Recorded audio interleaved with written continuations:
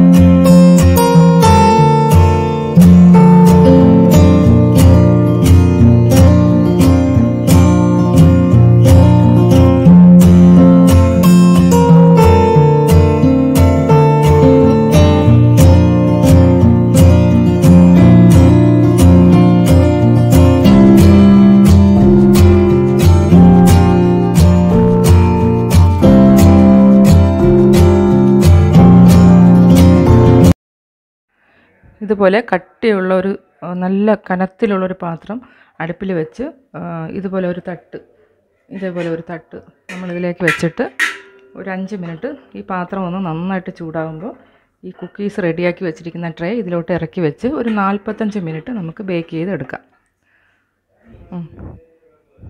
അടപ്പ് വെച്ച് അടയ്ക്കണം. നന്നായിട്ട് അടച്ചു കൊടുക്കണം നമ്മുടെ കുക്കീസ് റെഡി ആയിട്ടുണ്ട്. കണ്ടോ എത്ര ഭംഗിയാണ് കാണാൻ.